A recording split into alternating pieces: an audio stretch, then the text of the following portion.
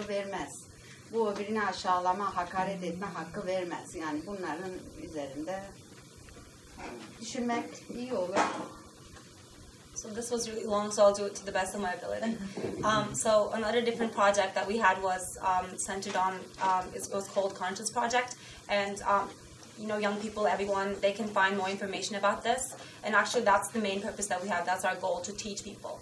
Um, so sometimes I say that it's easy to become a part of a minority because um, it enables you to learn about things that are happening. Um, so I'll just talk about an experience that I had on the plane. Um, I was sitting next to a lady. Um, she was a teacher, and she asked me if I was also a teacher, and I said no. I am a elementary school graduate, and then I went to middle school and you know got my degree. Um, and um, we were just talking, and then eventually I ended up saying that I was a Christian and I was an I was an Armenian. And she asked where I was from, and I said I'm from Mardin. And she was really surprised because she just didn't really know that in that region Armenians actually existed. Um, so that's just one example. Like even though she was a teacher, she didn't really know that.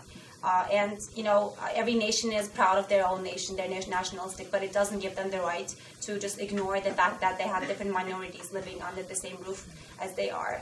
Um, in Turkey, we have Armenians, we have Kurds, we have um, you know Alevi people, um, just different different minorities, different people, and uh, it's, it's just important to acknowledge the fact that we live together, and and to know that we live together.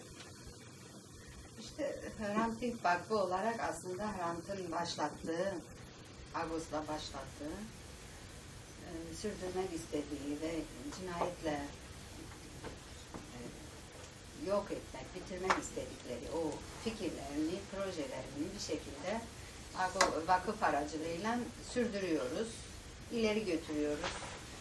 Cinayetle zaten Türkiye'nin o kabuğu biraz kırıldı e, gerçekten. E, kendi kişilik olarak insana, insanlara yakın davranan, kucaklayan, e, sevgi gösteren bir kişiliği vardı. Gerçekleri söylerken de kırmadan, anlamaya çalışarak söyleme usulü vardı. E, o, o usulün gerçekten büyük e, etkisini gördük cenazede. Elbette hepsini tanımamıştı, hepsiyle yüzde yüz görüşmemişti yüz yüze. Hepsine dokunmamıştı, hepsini e, bilmemişti ama e, o cenazenin kalabalığı ve birlikte olma ruhu bizi e, bize cesaret ve güç olmuştu. Tabii ki bu demek değildir ki e, o kadar kişi birdenbire şey oldu. değişti ve insanlığa her biri birer miras olacak. Amin olsun. İsteğimiz o. Çoğalsın da. Bizim isteğimiz bütün Türkiye'ye ulaşması, dünyaya ulaşması eğer iyi bir şey varsa. Ee, şeyden Türkiye'nin bir genel e, alışkanlığı da var Türkiye'de yaşayan insanların. Yani böyle bir düğmeyle sanki Allah Allah Allah dediler mi bir de ters tam ters istikamete de öyle bir araya gelebiliyorlar. Hani isteğimiz, amacımız insanlar bilinçlendikçe, bilinç arttıkça konulara karşı, durumlara karşı, e, olaylara karşı en azından kendileri bu şeyle değil, düğmeye basılarak değil de düşünerek karar verebilme yetilerine sahip olmalarıdır. Um, so by the assassination of Dink, they wanted to stop his thoughts and the path that he um, he wanted to follow. But through the foundation, through the Hrant Dink Foundation, we're trying to um, develop and uh, keep walking on the, this path that he drove. Um, in his funeral, we had a lot of people. It was a huge crowd, and obviously not everyone who came to the funeral was friends with Hrant Dink. Some of them they, they never saw him, but we just saw how like his friendly style, his his tolerance, his welcoming manner, um, just you know helped people be a part of this, be a part of this change. Um, so um, it's also important to acknowledge that the people who came to the funeral, it wasn't like they just radically changed like that. Um, and it's a very, you know, traditional. It's a very typical thing in Turkey that when you, you know, press a button, press a switch, then people just radically change and they, you know, become something opposite. Um, well, through the foundation, we want to make sure that it's not just doesn't just happen by you know pressing that button and people change. We want people to learn that. We, we want to teach people, and we want people to think about it. Um, so that's the purpose of the foundation. İşte bu anlamda herhalde farklı olarak e, başka bir sürü projelerimiz var. Kitap basıyoruz. Türkiye'de ilk defa şimdi diasporada konuşmaya alışıktırlar Ermeniler ama Türkiye'de hiç Ermeniler konuşmamışlardır, anlatmamışlardır geçmişlerini. Cesaret olmamıştır zaten vurula vurula kafalarına. Yani onları da anlamak lazım. E, ilk defa e, İstanbullu Ermeniler, Diyarbakırlı Ermeniler diye Malatya. Başka Malatyalı Ermeni. Ha, Böyle toytu. ha. Yok, kitap bastık da özellikle konuşuyorlar diye bir kitap Ankaralılar konuşuyorlar, Ankaralı. Ankaralı Ermeniler diye.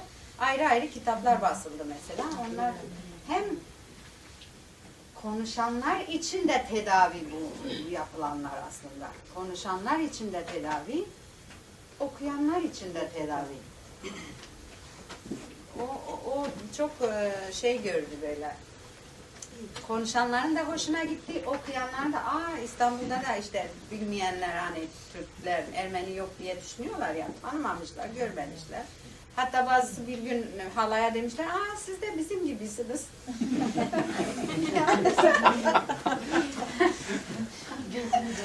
yani gerçekten ay komikti. Um, so in the diaspora, um, you see a lot of Armenians actually having the courage to, the, the courage to speak, but it, that doesn't really tend to be the case in, in Turkey in general. Because it requires this, a more special kind of courage, and lately that's, that started happening. Um, Armenians from Istanbul, Armenians from Malatya, Armenians from Ankara, they started expressing their thoughts and actually speaking up. Um, especially there was a book about um, Armenians in Ankara, and um, you know people who wrote the book. It was a sort of therapy for them, but it was also a sort of therapy for the people who actually got a chance to read the books. Um, and uh, actually, um, someone um, said, um, "Well, you guys are like us." You know, a Turkish person said, "Like you guys, you Armenians are like us," and you know that's that's just funny. It's, yeah. Evet yani hala da demiş ki yani e, ne sandınız demiş. Gerçekten yani şu komşu bu bilmiyormuş Ermeni olduğunu öğrenince de öyle şaşkın bir cümle kullanmış. Hani bunlar komik şeyler bilgisizlik mi artık cahillik mi bilmiyoruz ne diyelim isim koymamız gerekmez. Ha, bunlar insani haller diyelim. Anlamaya çalışalım, öğrenmeye çalışıyoruz sessizliğin sesi sessizlik bozuldu yani bu anlamda Türkiye'de. Artık e, konuşuluyor her şey. Eğer başka sorunuz varsa yoksa bilmiyorum. Trans, to translate something. Um, um, so that old lady who you know told her um, Armenian neighbor that you guys are like us, we're the same. It's just funny and like I sometimes don't know if it's ignorance or I don't know what that is, but um, you know it's important to come into contact with people.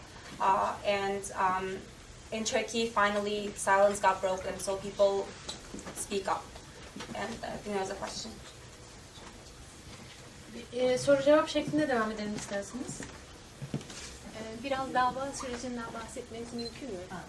Ee, orada yani bir sürü zorluklarla e, karşılaşıldığını biliyoruz. Fethiye Çetin'in e, yazdığı kitaptan da okuduk ama sizden de duymak isteriz. Biz bir şimdi cinayet olduysa biz en yakınları olarak en acının içinde olanlar olarak ailesi olarak hani çok acı cümleler bunlar ama hani diyorsun ki giden gitti bari işe yarasın. Gerçekten biz aile olarak acıyı bir tarafa bırakmaya çalıştık. Tüm hüsnü rızamızla belki Türkiye bugün bu davaya böyle içtenlikle, böyle e, gerçekçi, isteyerek, karar vererek, istemenin içinde karar var. Karar vererek, ya artık bu dava, aslında bu davayla 100 yıllık bir dava çözülecekti. Aynen. Yani umu- umut etmek istedik. Ve biz hiç istemememize rağmen içten ama dedik bu şans olsun Türkiye için. Ha, bizler için de bir şanstı diyeceğiz. Bu ne kadar kötü bir şey bunu böyle düşünmek. Yani öldürülmüş, ölmüş birinin üzerinde şans görmek yani çok acı bir şey. Ama ya en, en azından bu acıyı bir iyiye çevirebilme durumu varsa fırsatı değerlendirmek. Maalesef Türkiye bunu es geçti. Yani görmedik. İlk mahkemelerde bunu anladık zaten gördük. Ve anlamamıza göre inatla devam ettik. Gittik, gittik, gittik, gittik. Tiyatroyu dinlemeye, seyretmeye. O hakim kürsüsü biz mahkemeyi avukatlar bilirler. Belki mah- mahkeme usulü, salonu nasıl, niçin şey, avukatlarınki aşağıda, e, yönetim şeyinin yukarıda oluşu ama bunu mantıklı olan Allah'a şükür gördüğün zaman mantık gösteriyor seni. Oradaki hükmetsin, görsün, adaletli davransın değil mi? Üstte oturan. Şeyde de yazıyor. Adalet mülkün temelidir. Hiçbir adalet görmedik. O söz de yalan. Zaten kutsal kitaptan almışlar sözü. Ee, Kendilerine bastar diye kullanıyorlar e, sözü. Ama içinde boş. Yalan, hakaret, e, ikiyüzlülük ve aşağı vurma, yerme hiçbir niyet yok. İyi niyet yok. İyi niyet görmedik. Yapılanları boş verin. İyi niyet görmedik. Um, so the question was, can you tell us a little bit more about the court process? Uh, and the answer was, um, when the assassination happened, when the, the first gathering happened, the court gathering happened, we were in a lot of pain. But we just achieved, we were able to put that pain away and um, focus on something more uh, towards making something good out of this pain. Um, so, but you know, it didn't really happen that way. We thought the court gatherings uh, were going to solve, resolve a problem that was bigger than hunting's problem, a problem that has been persisting for a very long time. Uh, but um, evidently, Turkey just ignored this whole thing. And uh, I remember the, the first couple of court gatherings, and I remember how the placement of the, the lawyers and the judges were. And um, at the very top, um, you could see, um, so in Turkish we say, um, adalet mülkün temelidir. I don't really know how to translate that. Um, it's, so essentially it means justice is the foundational, is at the foundation. But it was really evident, like we could just, we could just see that that was really not the case. It was just them being there and being an authority figure and just being, you know, looking over us. Um, so it was just empty words. Bugün keşke bu soruya şöyle cevap verebilseydim. Yani evet e, öldürüldü. Nefretle, kinle, hakaretle saldırıldı hayatına. Hayatı elinden alındı. Bizim elimizden alındı. Ama 100 yıllık bir davaya, 100 yıllık bir konuya da ilaç oldu keşke diyebilseydim ve bugün Türkiye adına da Türkiye kurucuları adına da o memleketi yönetenler adına da bugün övünüyor olabilseydim. Ben acım, acımızı biz acımız ilaç olurdu o zaman. Ama maalesef iyi bir şey diyemem. I wish I could just say that um, assassination, his death, was a remedy to this problem that has been going on for a hundred years now. But that didn't turn out to be the case. It didn't become a remedy for anything. Um, and uh, I wish I could just say, like, in behalf of the leaders, the rulers of Turkey, that it was an honor to be able to resolve this problem. But I can't say that. I'm not going to say that. Alaydan başka bir şey göremedik. Biz de en son dedik ki aile olarak biz sizin e, senaryonuza ortak olmak istemiyoruz dedik. E, Gidip tekrar tekrar işkence çekmenin anlamı yok. Eğer şerefleri varsa biz siz de yaparlar zaten. Sürdürürler mahkemeyi yaparlar. Sonucuna nasıl ulaştıracaklar kendileri bilirler. Um, it was nothing but just um, pure mockery, and we didn't want to become a part of this anymore. And if they have the the pride, the honor to be able to um, keep up with the process of the court, then then they should do it. But we don't want to be be a part of the mockery anymore. This scenario. Evet, Siz de bir kabuğun çatlamasından bahsettiniz. Lerna Hanım da e, Grant'ın ölümünden sonra, Grant'ın ölümünden sonra bir şeylerin değiştiğinden bahsetti. Ben Sevan'ı çok severim. Sevan'ın da bu 2007'deki cenazeyle ilgili şey dediğini hatırlıyorum. Yani orada Türkiye Cumhuriyeti Devleti'nin omurgasının, o temelinin çatırdadığını hissettim. Bu insanlar artık bu garabetle yaşamak istemeyeceklerini anlamda ortaya koydular dedi. Tabii siz Hrant'ın ölümünden sonra eşi olarak tabii ki etrafınızdaki gördüğünüz destek artmıştır. Ona hiç şüphe yok. Zaten falan şeyin vakfın aktivitelerinden anlaşılıyor. Ama ben şeyi merak ediyorum. Siz İstanbul'da yaşayan, normal işinde gücünde sıradan e, bir Ermeni'nin hayatında pozitif ne kadar bir şey değiştiğini bu son 7 sene, 8 sene içinde bu konuda biraz yorum misiniz? Yani sizce hakikaten bir şeyler değişiyor mu? Çünkü özellikle hala işte Ermeni kelimesini bir hakaret olarak kullanma cesaretini gösteren bir cumhurbaşkanı varken vesaire. Yani bu konuda ne düşünüyorsunuz? Merak ediyorum. Ee, şey diyebilirim mesela birçok gençler, konuşan gençler çıktı ortaya Ermeniler arasında. Ha, aynı şekilde e, Kürt, Türk, o bir halklardan da cesaret bulup kendilerini buldular diyeyim bu çatlamayla ilgili. Ee, zaten sırf Ermenilerde olsa o zaman a, yapıcı bir şey değil. Herkes aynı şekilde etkileniyor olan bir şeyde. Acı da olsa, iyi de olsa. Yani bütün oradaki toplumlar etkilendiler. Bu iyi bir şey. E, e, Ermeniler e, yani şimdi daha açıktan söyleyebiliyorlar Ermeniyiz diye. Bu bir gerçek. Ama kimisi de böyleleri de var yani kendilerine bir gün me- mezarlıktayım biri geçiyor yaşlı bir kadın. O da acısından söylüyordur belki. Konuştu da başını yedi diyenler de var yani. Maalesef. Ama kimisi vah vah mesela derler. Vah vah. Oğlum dedik konuşma. Oğlum dedik konuşma. Sen ne e, bu kadar mı görmedin? Bu kadar mı değiştiler diye inandın? Diyenler de var. Yani acısını öyle dile getiriyorlar. Ermeni yaşlı kadınlar. Yoldan giderken biz karı koca derlerdi aman oğlum dikkat et. Korkuyoruz senin için. Ha bir taraftan da içinden seviniyor. Ay konuşuyor biri ya. Yıllardır susturulmuşlar.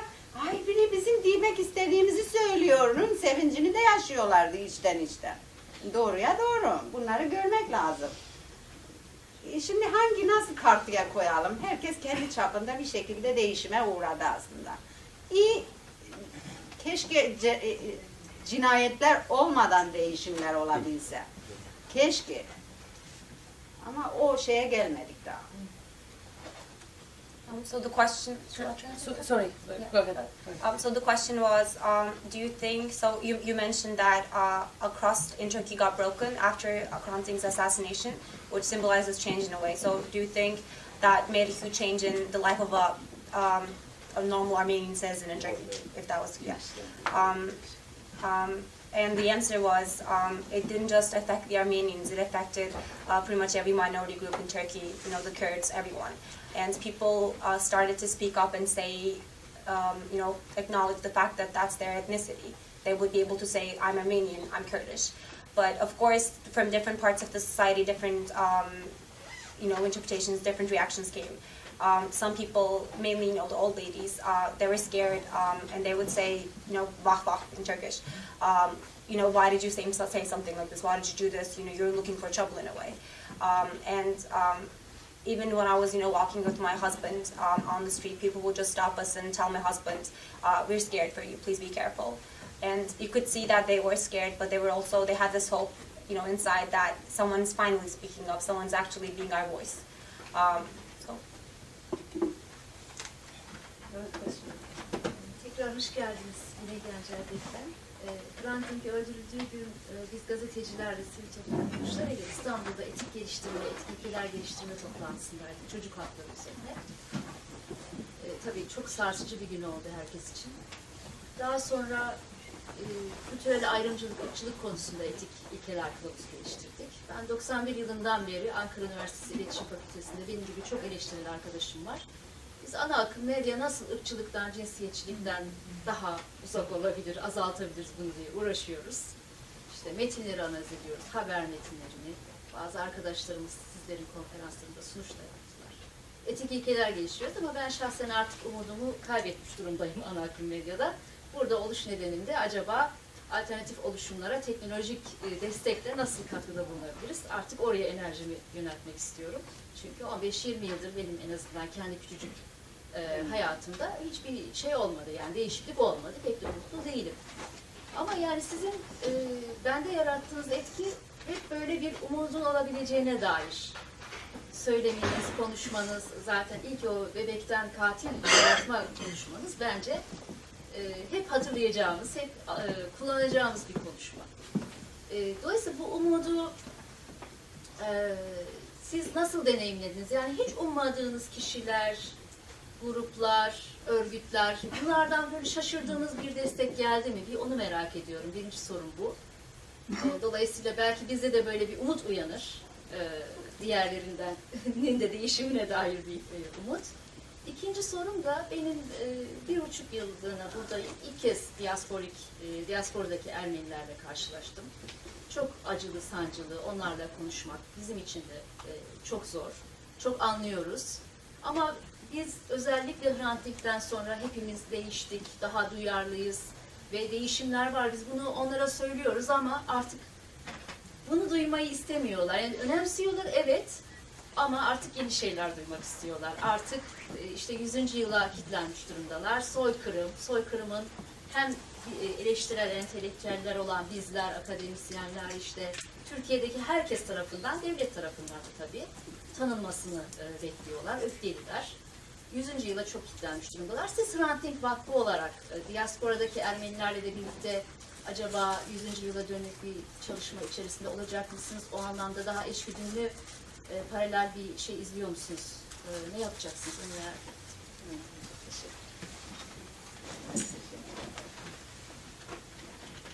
Şimdi ilk e, soru umudu nasıl besliyorsunuz? Nasıl bizde diye. Ee, şimdi ben bir Hristiyan olarak Tanrı'nın sözü diyor ki nefes varken umut vardır da. Yani nefes alan her insana Gagarin ölmediyse umut vardır. Ee, bu anlamda umut etmek istiyoruz. Bu da bir karar yani. Yani umut olmazsa hani diyorlar fakir umutla yaşar derler. Eğer yarına umut olmazsa nasıl yaşama devam edebiliriz? Hani o zaman kül dökünelim, yaz tutalım, hiç hareket etmeyelim. Yani bu da olamayacak gibi bir durum.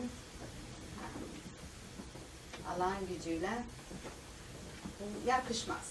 Yani doğru değil böyle. Ama bir şekilde aslında umudunuz var ki hala orayı bıraktınız ama burada gene bir şey buldunuz. Bir şekilde mücadeleyi Bize yürütecek. benzeyenlerle dayanışma yönünde umudum var da hani diğerlerini dönüştürmeye nasıl olacak? Dönüştürmeye artık her, her- herkes özgür, herkes kendi çapında, kendi durumunda her kararını kendi bulacak, yolunu kendi bulacak. Allah yardımlar, yardımcılar olur. Derim. O kadar yani Tanrı'nın yapacağı işler var benim inancıma göre. Bizim yapabileceğimiz işler var. Biz yapabileceğimizi yaparız, gerisini ötesini yani yapamayız. Bize düşmeyen şeyler de var kişinin hayatında. Ama mesela ben e,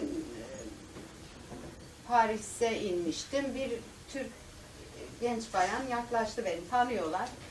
Ah Rakel abla ne olursun ülkemizi terk et, yani terk etmeyesin diye böyle. Yani mesela. E, sokakta çevirip ay ne olursun sizi öpebilir miyim? E, gibi davranışlar da hani insana umut veriyor.